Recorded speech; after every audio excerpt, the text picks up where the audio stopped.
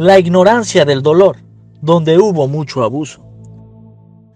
Muchas nuevas generaciones no la vieron, pero hoy la padecen, con todas las secuelas de la corrupción que existen todavía.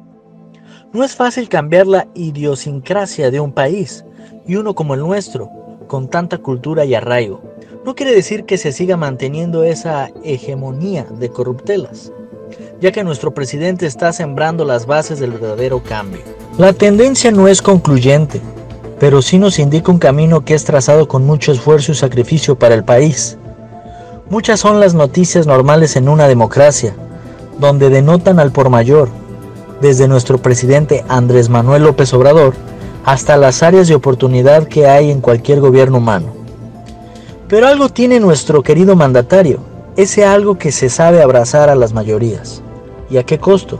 Jamás, jamás con los costos de prensa anteriores, sin chayotes, y aunque con una deficiente área de comunicación social de mucho de su equipo, que administran malos recursos y no son equitativos con los medios de comunicación, él solo puede con todo, a lograr cautivar a la gente más necesitada, con las más pequeñas de las necesidades hasta las mayores. ¿O cuánto vale darle fe, esperanza y cariño a un pueblo saqueado y menospreciado?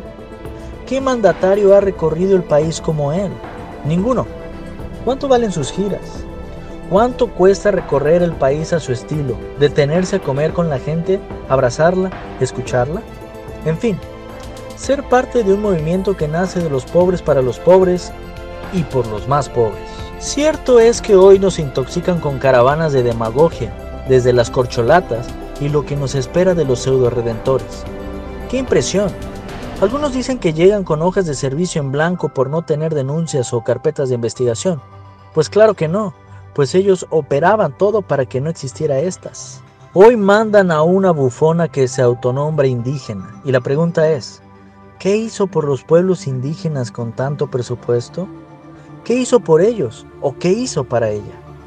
La palabra indígena es muy amplia, porque en ese caso todos los mexicanos tenemos sangre orgullosamente indígena.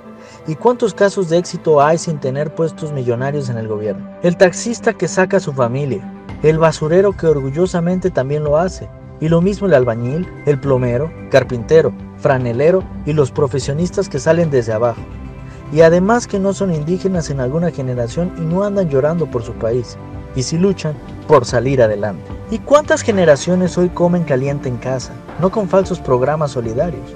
Según esto, que venían arrastrando administraciones pasadas. Claro, los bautizaban con otros nombres y frases de campaña como renovación moral de la sociedad.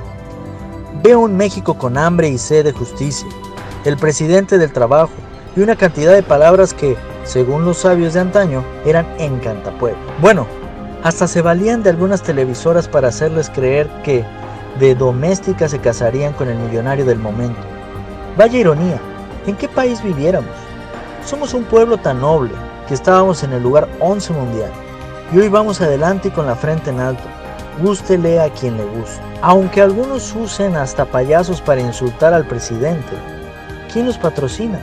Bueno, ya sabemos todos que cada pedrada viene con destinatario. La oposición se debería de preocupar por mejores alternativas que hay en la ciudadanía al 100%.